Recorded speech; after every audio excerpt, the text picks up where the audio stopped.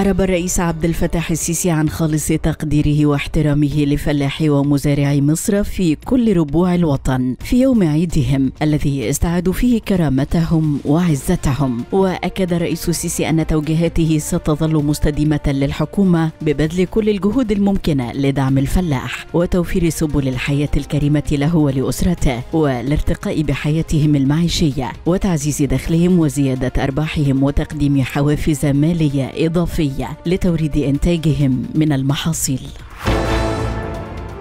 نعت السيدة انتصار السيسي قرينة رئيس الجمهورية الملكة إليزابيث الثانية التي وفتها المنية يوم أمس عن عمر ناهز 96 عاما. وقالت السيدة انتصار السيسي إن الملكة الراحلة كانت سيدة عظيمة ورمزا للعطاء. أفنت عمرها في خدمة وطنها وأمتها بتفان وإخلاص لا مثيل لهما.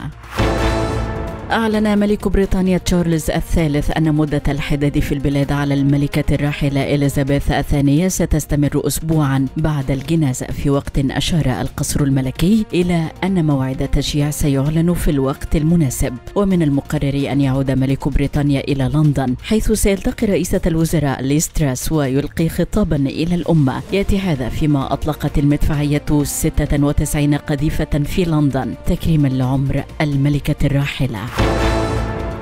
وافق المجلس الأوروبي على قرار تعليق اتفاقية تسهيل التأشيرات بين الاتحاد الأوروبي وروسيا بشكل كامل حيث سيتم تطبيق القواعد العامة لقانون التأشيرة على المواطنين الروس. وجاء في بيان صحفي نشرته دائرة العمل الخارجي للاتحاد الأوروبي أن هذا القرار سيؤدي إلى زيادة رسوم طلب تأشيرة دخول بلدان الاتحاد. من 35 يورو إلى 80 يورو. والحاجة إلى تقديم أدلة وثائقية إضافية وزيادة أوقات معالجة التأشيرات. وقواعد أكثر تقييدا لإصدار تأشيرات الدخول المتعدد.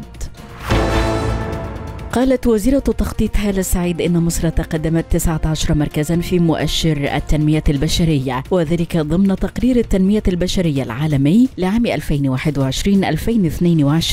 الذي أطلقه برنامج الأمم المتحدة الإنمائي أمس وأكدت السعيد أن هذا التقدم يعد انعكاسا واضحا للخطط التنموية التي تنفذها الدولة المصرية خلال السنوات الماضية ونتيجة طبيعية لما تحقق من مشروعات قومية ومبادرات رئاسية الرئيسية في كافة المجالات وخصوصا مجالات الصحة والتعليم.